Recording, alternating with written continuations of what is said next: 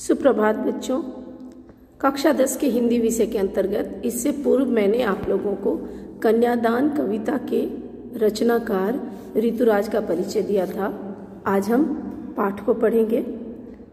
इस पाठ में माँ और बेटी के माध्यम से स्त्री जीवन की सच्चाई को रखा गया है, उस पर प्रकाश डाला गया है। कवि कहते हैं, कितना प्रामाणिक था उसका दुख लड़की को दान में देते वक्त। जैसे वही उसकी अंतिम पूंजी हो। बेटी जो है, वो माँ के लिए अंतिम पूंजी है, क्योंकि वह अपने जीवन के हर सुख दुख उसी के साथ बांटती है। बेटी ही माँ के सबसे निकट और सुख दुख की साथ ही होती है। इसमें कवि ने कन्या के विवाहपूर्ण स्थिति का अत्यंत सूक्ष्मता से और भावात्मक पूर्ण वर्णन किया है। कन्या की चिंता में घुलती माँ, उसकी मनोदशा, उसका चित्र जो है अत्यंत सजीव अंकित किया गया है।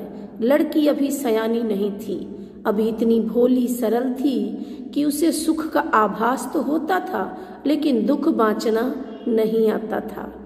पाठिका थी वह धुंधले प्रकाश की, कुछ तुकों और कुछ लयबद्ध पंक्तियों की। यह कवि कहते हैं कि तुकों और लयबद्ध पंक्तियाँ जो है, इसका तात्पर्य है सामान्य ज्ञान। लड़की जो है, वो अभी बड़ी नहीं हुई है। उसे दुनियादारी की समझ नहीं है। वो विवाह से पहले जो है उसने अपने परिवार में अपने माता पिता के सानिध्य में केवल सुख देखा है। दुखों की मात्रा अगर थी भी तो बहुत कम, और माँ ने शायद हमेशा कोशिश की कि पुत्री को दुख का आभास ना हो। वो अभी सयानी नहीं है। वो भोली है, सरल है। प्यार के छलावे में आकर स्वयं उसको छला जा सकता है। और ससुराल में जब वो जाएगी तो उसे दबाकर उसके ऊपर मनमाना अत्याचार किया जा सकता है। इसलिए कवि कहते हैं कि लड़की अभी सयानी नहीं थी। लड़की जो है, उसे अभी दुनियादारी की समझ नहीं थी। वो परिपक्व नहीं है।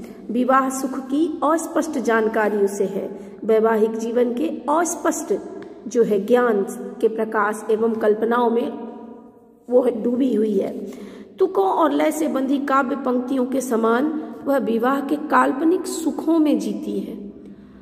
इन पंक्तियों में अत्याचार की शिकार लड़की का दुखद जो रूप है, वो सामने उभर के आता है। लड़की समाज द्वारा बनाई गई विभिन्न कुरुतियों की शिकार बन जाती है।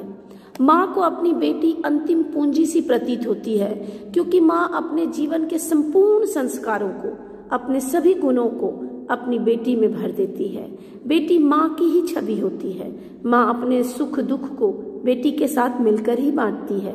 इसलिए कन्यादान के समय माँ को लगता है कि बेटी उसकी अंतिम पूंजी है और वो उसे सचेत करना ज़रूरी समझती है। माँ बेटी को समझा